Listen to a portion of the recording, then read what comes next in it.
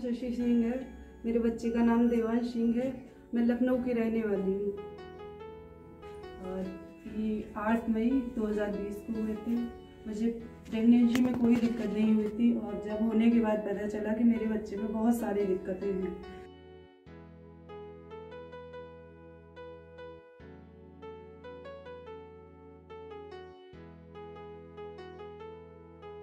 तो वहाँ के डॉक्टर ने बताया कि इनको थेरेपी की ज़रूरत है। तो सीआरसी के बारे में उन्होंने ही बताया तो मैं तब से सीआरसी लेके आ रही हूँ इनको।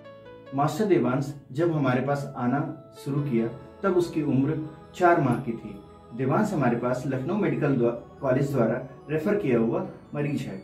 जब देवांश का हमने फ़र्स्ट असेसमेंट किया तो हमने पाया कि देवांश सिंह में अपर एक्सट्रीमिटी और लोअर एक्सट्रीमिटी अर्थात हाथ और पैरों में मल्टीपल जॉइंट कॉन्ट्रेक्चर है, साथ ही देवांश का डेवलपमेंट भी काफ़ी स्लो है।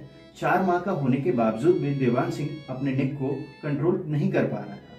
फ़र्स्ट असेसमेंट के बाद मास्टर देवांश को हमने मल्टीडिसिप्लिनरी अप्रोच के माध्यम से सीआरसी लखनऊ के अर्ली इंटरवेंशन सेंटर में हमने उसका फिजियोथेरेपी और ऑक्यूपेशनल थेरेपी ट्रीटमेंट स्टार्ट किया।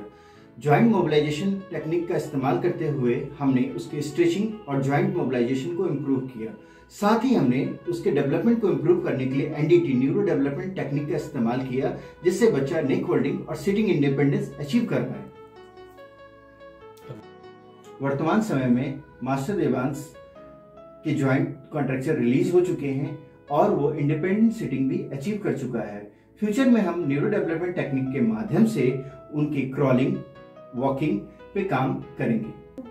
और पहले से इनको काफ़ी फ़ायदा हुआ है। पहले पूरे हाथ इनके मुड़े हुए थे, अब देख, अब काफ़ी फ़ायदा है पहले से। पहले बिल्कुल भी नहीं उठाता था और न खुलते थे इनके हाथ ही ऐसे पीछे की तरफ़ रहते थे। अब बहुत आराम है पहले से।